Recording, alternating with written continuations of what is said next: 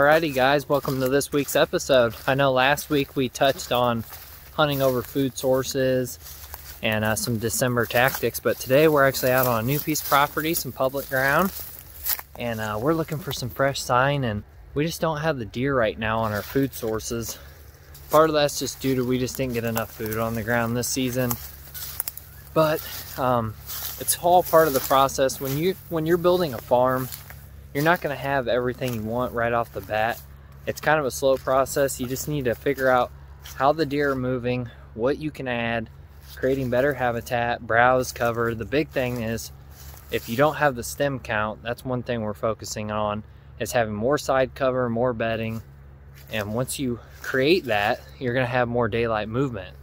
And then when you couple that with food plots, whether it's grain or green, you're really going to be on to something good. And this year alone, we put in three food sources and uh, we only have about an acre total of food plots. And uh, it changed the whole way my farm hunted, changed the daylight movement.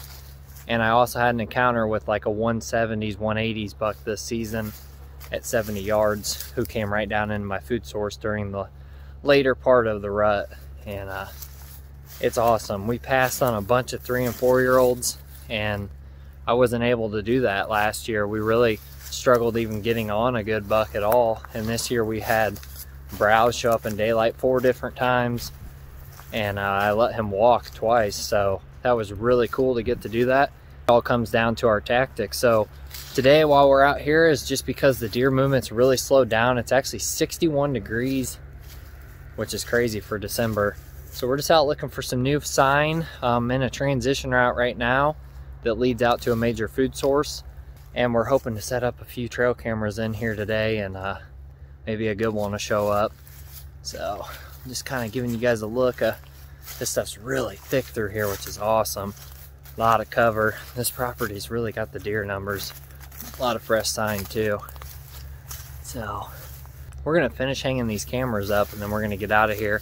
The sun's already setting, so need to get out of here for the deer start moving really today's topic was just to touch more on food and explain, you know, that during late season, a lot of times these deer really shift. They're gonna find a farm with a major food source and they're gonna continue to hit it for the remainder of the season. So if you don't have that food source, you definitely need to look in creating it and that's what we're going to be doing this off season. So you guys definitely need to stay tuned in on our off season projects and hopefully we can help you guys create the type of property that will hold really mature bucks. And as always, guys, thanks for tuning in on this week's episode.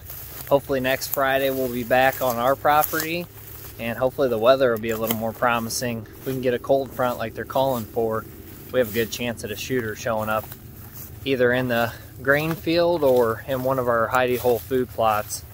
But we got our fingers crossed that we can still get the job done this late season. If you guys haven't already, hit that subscribe button. We're doing a 100 subscriber giveaway.